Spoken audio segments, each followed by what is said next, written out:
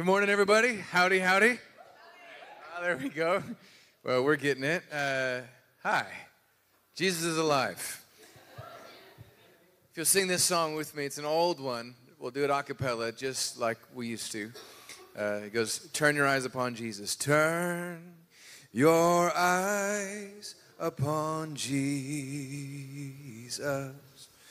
Look full in his wonderful face and the things of earth and the things of earth will grow strangely dim in the light of his glory and grace. We'll see once more. Turn your eyes.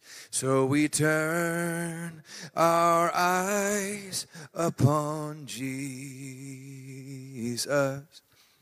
And we look full in his wonderful face. And the things of earth will grow strangely dim in the light of his glory and grace. Amen. My name is Eli. I was here a few years ago, um, about probably about four years ago. And what happened is we were asked to do this wild thing, was to relaunch Chi Alpha at Texas A&M and to start a church. So this is really fun because in our case, this normally doesn't happen. If you think about this church, this church has given so much to Chi Alphas in the nation for so many years. And so when we were asked to go, our team, we, I put together a team, and the Lord helped me put together a team, and we moved over. We volunteered to pastor a church. So we worked for Chi Alpha, and Chi Alpha planted a church. Really fun.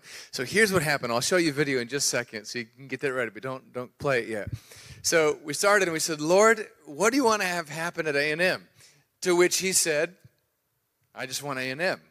You're like, oh, that's novel, right? Because the Bible says that if 99 are safe and 1% is lost, then he would leave the 99 for the one. Is that right?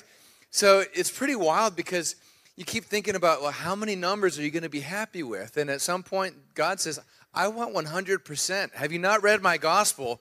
I want 100% you just kind of you kind of settle for 10% or 1%, but God actually wants 100%. He wants the whole world to love him.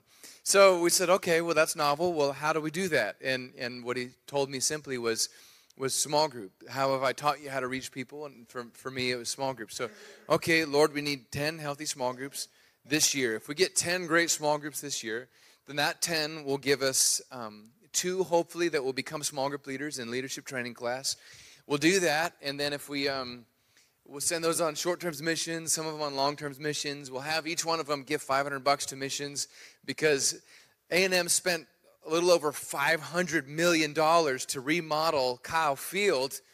So our school knows how to worship. Uh, we just need to hijack that to worship the King, not just you know the the, the queens. So we moved on, and so we, we just kept asking the Lord for all these things. So here's what we need. We need to reach 100%, there are 16,000 freshmen that live on campus. 12,000 freshmen, some undergrads and others transfer. 16,000 people live on campus. So, how do we do that? Well, you start with a little less than a room full, and you do what we're going to talk about today. The title is called The Inward Root. You fight for a particular type of disciple. And if we can get 10 uh, small groups like that, then 10 can give us 20. And so this year, we just finished year three. We're three and a half years in. And you, you all were one of our first supporting churches. You helped us buy a, uh, we put a tent in our backyard so our church could meet in it. I'll tell you that. But those 10 small groups, this year we have 90 student small groups that meet on campus. And, and those 90 have gone out. Remember, we give everyone a 3F job description. You find lost sheep, you fight to bring them into community, and then you feed them. And so, those 90, we have another 110 that are signed up right now that in a couple weeks are going to start learning how to become small group leaders for next semester. So, next school year, four years in, next school year will be four years in, we'll be starting off with at least 150 students that are leading small groups. And, and a lot of it I, I, want you to look to your left and your right. You're like, this room helped us do that. We would not have done it without this church. This church has partnered with us in a major way. And one of those funny things that it takes is one, I, I believed all this was going to happen. You, this year, I, we knew uh, that the Lord was going to give us you know, somewhere between 100 and 150 small group leaders in training. We just had the faith for it. One of the things I never thought about was how much it cost to meet on campus. So it costs us about two to three thousand dollars a month to meet on campus, just to meet on campus. These are students that are non-tithers, and so one of the things that Pastor Richard and, and your church has done is you've sponsored one month for us on campus uh, for this coming semester, and we're so so grateful. I can't say thank you enough.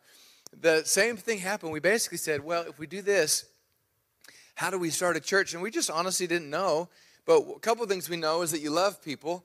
And if you love people and you love God, you'll always be in demand. And so that's just what we did. And so this morning, my wife is preaching for me. We meet in Pebble Creek Country Club. It's a golf course of all places.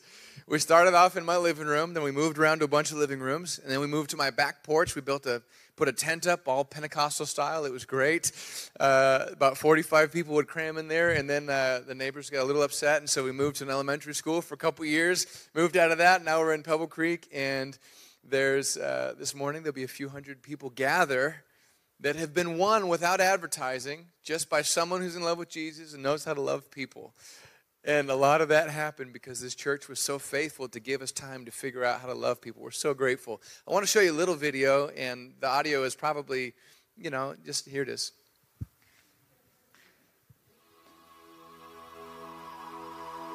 It's my family.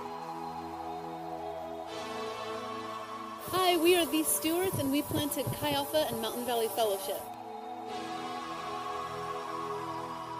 For us, the work starts right here each of us has to find a place to meet with Jesus and give us a message to speak to our ministries each day. We bring that message to our team, and our team together brings it out to our community. It's my staff team. Each of us has to figure out a way to take the message that God has given us and speak it to the world around us. And God is using it to transform lives all over College Station. Young and old, hearts are finding life in Jesus. And each of these hearts that you see, they weren't brought with advertising. They were brought because a small group leader, armed with fellowship with Jesus, a message from him, they opened their mouth and took it out to the world around them.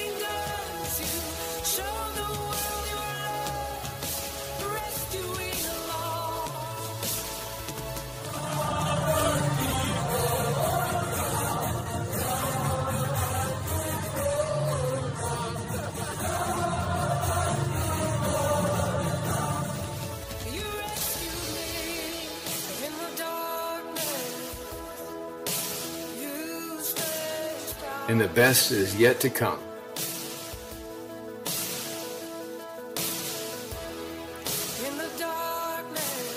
And that's us. Amen. You excited? You grateful? Man, I'm grateful. It uh, it really.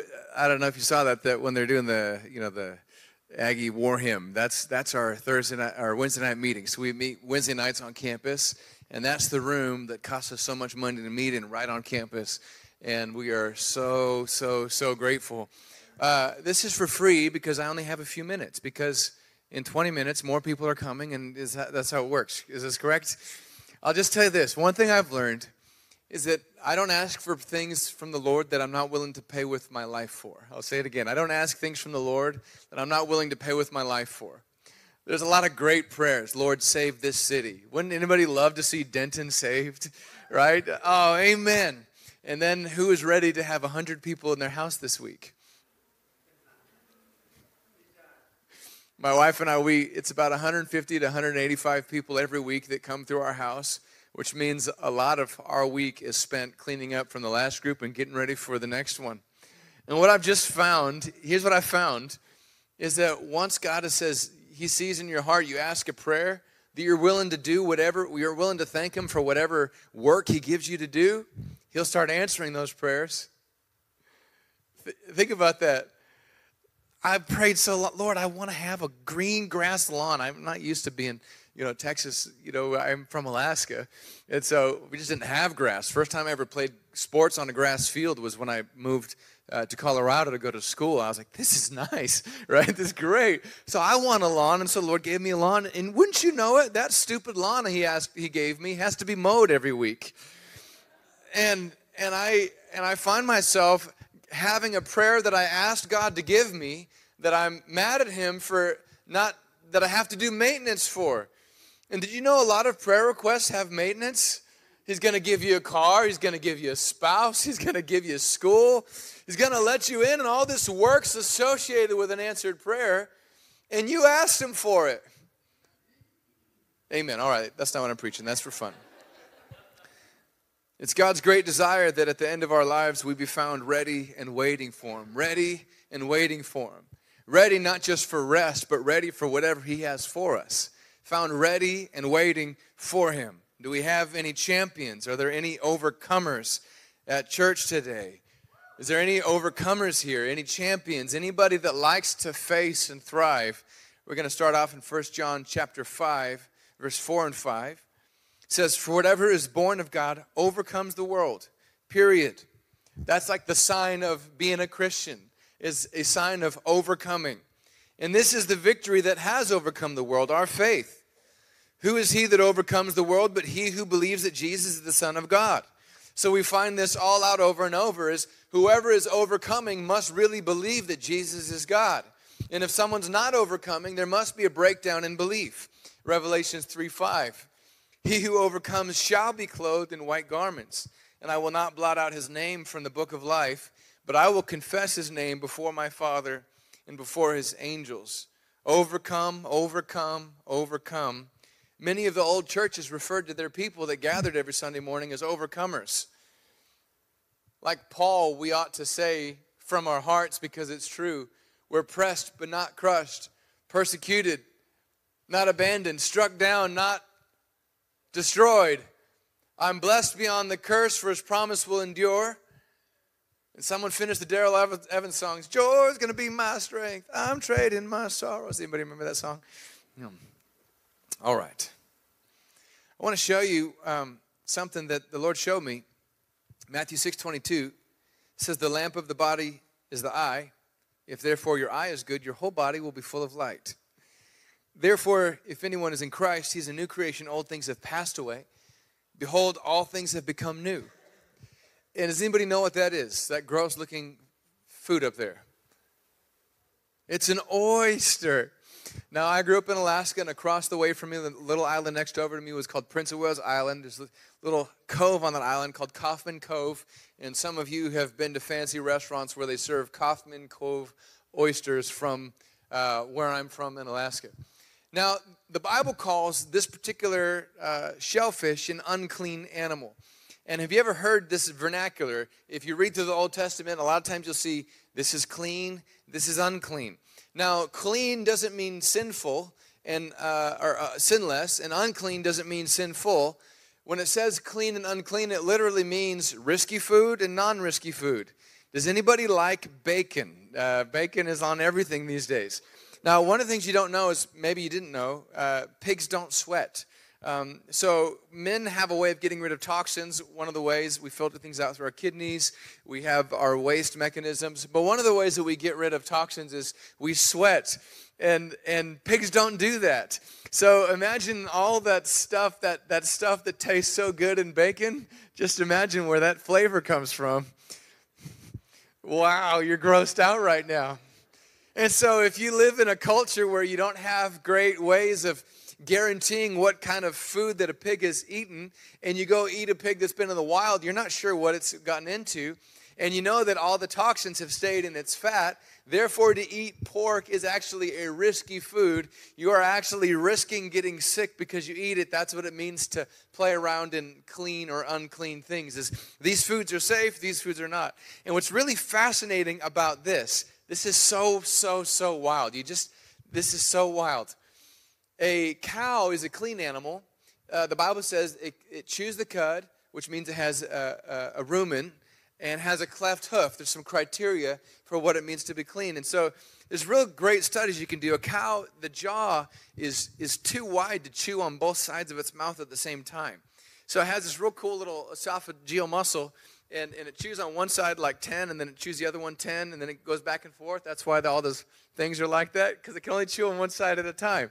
And what it, it, it ingresses, it has the lips that gather, and it chews and breaks off, and the esophagus, it sends it down to the rumen, and then the rumen combines it. There's some bacteria in there that start to break down the food. But if, if there's something wrong with it, it can get sent back up to the mouth, and sometimes it can be spit out. And then it gets chewed up some more and gets brought back. And this whole little process happens until the food that it's eating becomes good for the body and broken down to the point where it's going to be good to become part of the flesh. And so then the rumen passes it on to the stomach, the chambered stomach, and some of you know that. But what happens is that that grass gets a, a life culture, a probiotic in the uh, rumen, gets added to the food. It breaks it down, turns it into something that's good for the cow. The cow, it becomes part of the beef. The beef is safe. A horse does not have a rumen and does not have a cleft hoof. And what's interesting is a horse will eat sometimes the same grass, but it doesn't have that rumen that has the life in it, the bacteria to help break down its food. So what it does is it takes some of its manure. There's a special type of dropping that comes out that has this bacteria in it, and a horse will re ingest the waste to get the bacteria to help it break down the food. Now, if you think about how a body works, there's a reason it's called waste, right? It has too much concentration of some, it's in your body, so it's not making you sick that it's in your body, but it's got to get out of your body quickly or it'll make you sick. And if it ruptures inside of you, you go septic, you're really bad. So a horse takes this the, manure that has now concentrated potential toxins, if you haven't watched its food source, and re-ingests it back into the, the mouth, it goes back into the stomach, and that higher toxic toxicity food becomes a part of its meat, which is why when you eat horse meat, it's risky because it could have more toxins in it than a normal cow. Now, a camel is an interesting one because a camel does have a rumen but does not have a split hoof. And this is really interesting because it has a, it doesn't have to use the restroom and so it can hold its water for a long time like, like urine. And, and actually, the, the meat can fluctuate up and down really crazy temperatures. And we all know that desert temperatures can increase bacterial growth in, a, in, in meat and therefore camel meat is really risky to eat, even though if you guarantee how it's raised and you cook it right and you sanitize it right, you can eat it without dying, but it's risky. Does this, make sense to everybody? So, this is where you begin to see the difference between clean and unclean. And I put the oyster up there because the Bible tells us what kind of fish you can eat and what kind of seafood you can't. So, here's an interesting one. If it's got scales on it, that are firm, they don't come off easily. if the scales are on it, then the food isn't, it's called clean. It's for those of you that are in science, this is a great, it's a hypertonic, hypotonic question. In other words, when you eat salmon, which I grew up on a salmon fishing boat, lived on a fishing boat three to six months a year growing up. When you eat salmon, it doesn't taste salty, but it lives in salt water. How is that? You ever thought about that? Isn't that a wild thought? How come it doesn't taste like the ocean? I mean, it tastes like seafood, don't get me wrong, but it doesn't taste salty. And it's actually a wonderful, so what happens is that the gills desalinate the water. They take the salt out, and then they flush fresh water into the meat. And wherever the scales are, are like portals for that fresh water because salt water wants to suck out fresh water. It wants to uh, reach a point of equilibrium where it stabilizes. The inward and outward solution is roughly the same. So it's always pulling the salt water out, but the fish is always putting fresh water in. Therefore, the, the meat is not fruit leather, right? It's not, it's not leathery, and therefore it also tastes clean. But a shark does not have scales.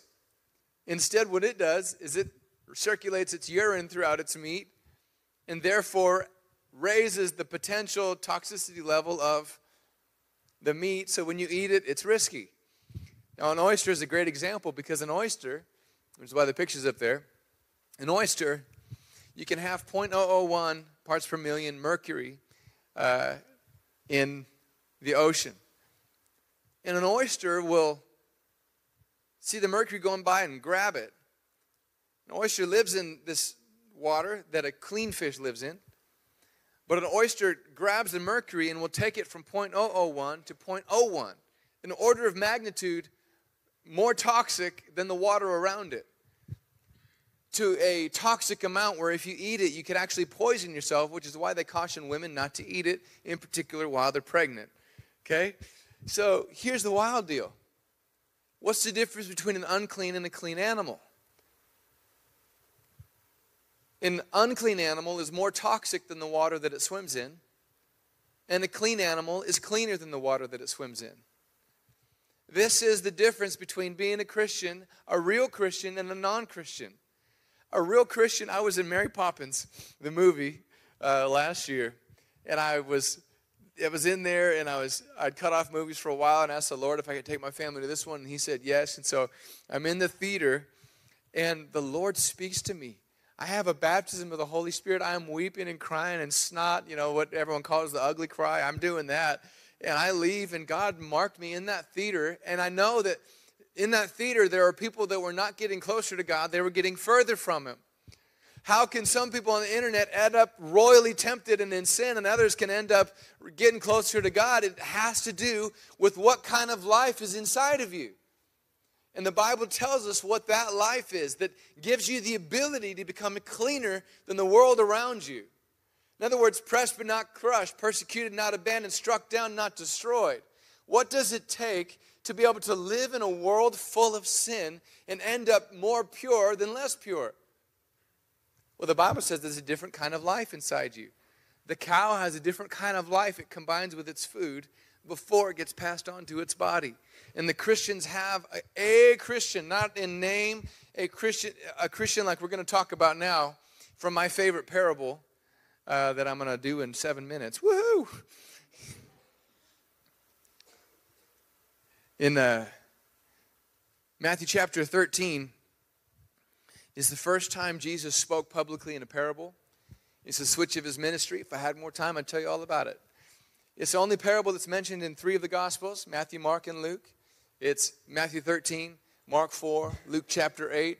Whenever God repeats himself three times, pay attention. There's more scripture given in this parable than any other parable. When his disciples come to him and they say, How come you now speak in parables?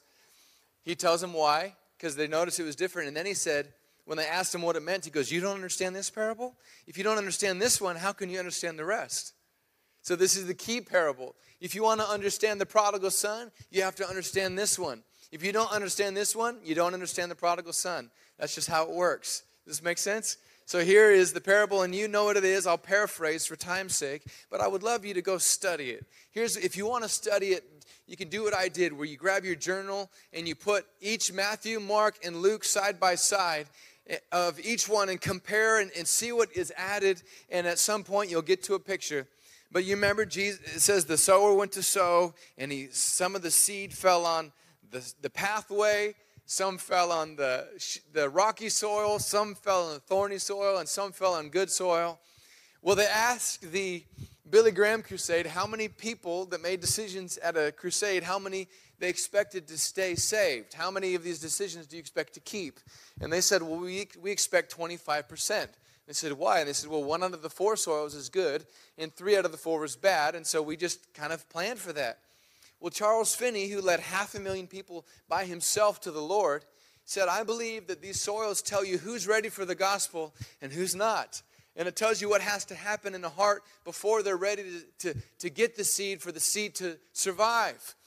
And as I looked into this, I was really wrestling with it because I did an altar call and 50 students came to the front and they bowed and they cried and, and 40 of them disappeared into who knows where and 10 of them were there and I, I was like lord i should not have any cynicism when i see people coming to the altar to get right with you i shouldn't have a cynical attitude towards well we'll see what happens i shouldn't i actually should believe that something's happening what's going on and when he led me to this to show me i was i said oh I have been mistaken on many things. And here's the first one I caught. I'll just paraphrase it before I read this. He said this Some seed fell on the pathway. Luke adds it was trampled down. It says, received it without understanding. And the enemy came, and it says this took away that which was in his heart. That's what it says. Took away. I always thought putting the seed in your heart, receiving the seed in your heart equaled salvation. But if you look at Jesus' words in Matthew 13, Mark 4, and Luke 8, that seed in the heart gets taken out. So that can't mean saved because he says they obviously were not. The second one, which we're going to read right now, is, he explains it. He received seed in the stony places. Uh, we're going to pause, and if you go to the picture, I drew. I, I made a cool clip art picture for you of stony places. Uh, I'm a graphic. I was not a graphics major, so that's that. Um, but there it is. There is the, um, uh, the the shallow soil, the rocky soil, and this is interesting. It says the seed that fell is is uh, immediately sprang up, and when the sun came out, withered because it had no inward root. And so you see the thing, the, the thing that's in the way, the rocks are in the way, and it keeps the root from going down. And the inward root is the difference between a clean and an unclean animal. The inward root is when the Holy Spirit tells you Himself you're mine. I have a person come to me and goes, Eli, am I saved? And I normally would say, Well, did you pray this? Did you pray this? Did you pray this? And he goes, Yeah. I'm like, Well, you must be saved. And so I assure him. And I read Romans, and the Bible said, Jesus says in Romans 8, My spirit bears witness. Eli, how come you're assuring people that I've never assured yet? How come you're telling them okay when my Holy Spirit hadn't told them they're okay? I go, Okay, I don't do that anymore. I, I, I, hands off. It's not my job. God keeps the books. I don't. I don't want to have to face Him for assuring someone that His Holy Spirit hasn't borne witness to. They have to have an inner root, and the only one that can tell them they have it is the Holy Spirit. So if you're here this morning and you haven't been assured from God on high, then don't ask me. ask the Lord and ask Him what you got to do to get assured because He's the only one that can give it. So there we are. Here's the shallow soil. The shallow soil, that, that top little couple inches of soil is highly fertile, so fertile that you grow really quick when you're there. It says, he immediately receives it with joy. Why would someone be super excited about becoming part of Eaglepointe or Mountain Valley or Chi Alpha? Why would they immediately receive them with joy? Well, one reason I can think of is finally we have community. Man, I'm raising kids. I didn't know what to do. And wow, great. You got fam- Christian family. Oh, yeah, we can go through life together. They love me. I love them. We like the same football team. This is great. I finally found where I belong in this community. And that's one of the reasons you can be so excited about the gospel is look at what it gives you. And the second reason is because you had such guilt. You know, some guy, he loses his temper on his wife, and, you know, some wife has had this towards her husband, and all of a sudden they can be like, come to the cross and find forgiveness and immediately receive the, the message with joy. This is someone who goes from small group to small group, maybe church to church. They can't grow where they're planted because they continue to use the nutrients there, so the roots have to go somewhere else. Instead of getting deeper in God, they go out into other parts of the community. Maybe if I volunteer here, maybe if I volunteer here. And it's always this thing trying to find out where they can be fed, but there's no inward root that feeds them. Everyone understand what I'm fighting for? So then, he says, when the sun comes out, if you were to describe what the sunshine is before we read it, if you Jesus, it's no, it's not scary that the sun comes out. It's pretty normal. Actually, if you want to be a plant and grow, you ought to be able to face the sunshine. Amen. If I have to hide a plant from sunshine, there's something really messed up. Not every plant can take can take the full heat of the day, but at some point the plant should be able to take the full heat of the day. Is what Jesus is saying if it has an inward root. If I was to say the sunshine that grows us, I would have said it's probably the love of God or grace or something, mercy maybe. But Jesus says rooted and established in love. When he describes what the sunshine is, let's see what he says. These are his words. For when tribulation or persecution arises because of the word, immediately he stumbles. Afterward, when tribulation or persecution arises, and a time of temptation fall away, the sunshine that grows you, the sunshine that Jesus sends to grow his Christians, is persecution, temptation, and tribulation. This is the sunshine that reveals the inward root. This is the great freedom I have. If I have to protect a student on campus from being tempted, oh, what a, what a padded room I create for them. How much effort do I have to do to go through to try to create a safe space where my students don't have to face reality because I know they would fail. So instead, I switched it. I go, they just don't have an inward root. I now know what to pray for, I know what to fight for, and I know what the rocks are. And here's where I'll end as the worship team comes back. The rocks are quite simply this when most people come to God, they give him all their bad things, they never think to give him their good things. My kids are in the bathtub, and True's got a Noah's Ark for Christmas, my youngest boy. So they got the ark in there, and it's floating, and flood comes up, and pull the plug, and flood goes down, and all the animals come off, and they remember that Noah sacrificed a lamb, and so they start looking for a lamb, but there's only a good one good lamb. He's still pretty good. It's a Christmas present. Like, we don't want to sacrifice that lamb. Look, it's I love this toy. Uh, so they start going and scrounging, find a little uh, stuffed animal. It's got an ear ripped off and a leg gone and this and don't you dare call that a sacrifice. That's a mercy killing. Immediately receives it with joy. Oh, God, thank you. This gospel cost me nothing because all it did was give me something right now. Persecution, temptation, tribulation is what God wants to use to grow his people. And it's the, only, it's the great tester if there's any inward root or not. That's the great tester. If you wilt under temptation, it's really simple no inward root. If you wilt under persecution, it's real simple. There's no inward root. If you wilt under tribulation, when times are hard, it's just so hard, Pastor Eli. You don't know what it's like being a student on campus with all these girls and these guys and everyone. I do know what it's like because I've grown up in the sunshine too.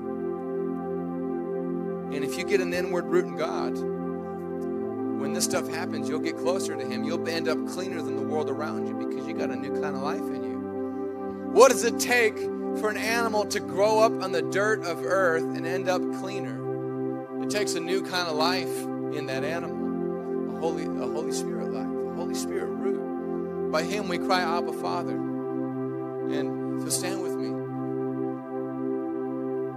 as I quit talking.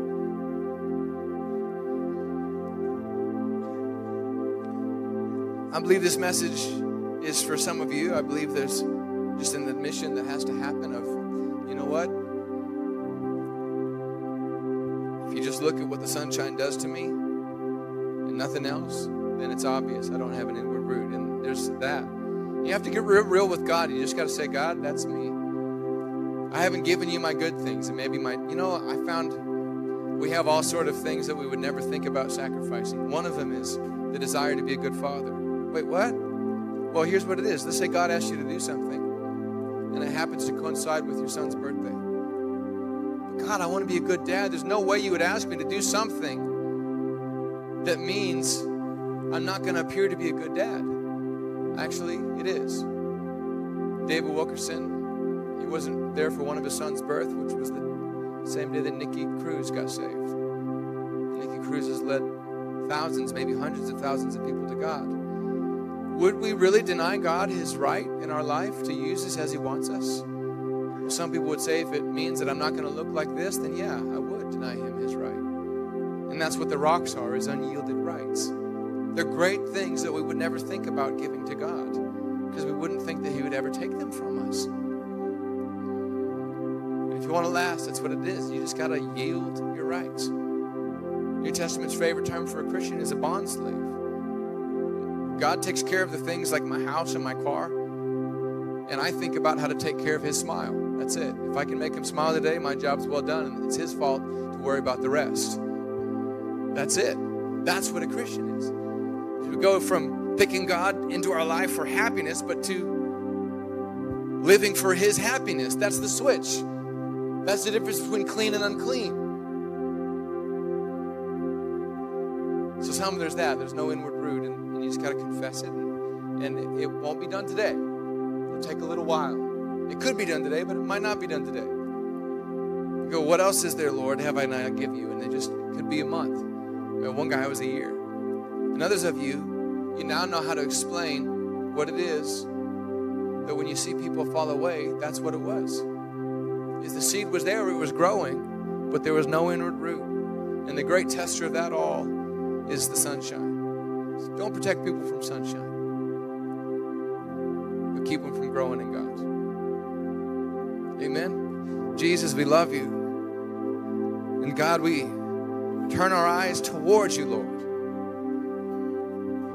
Holy Spirit, we know, Lord,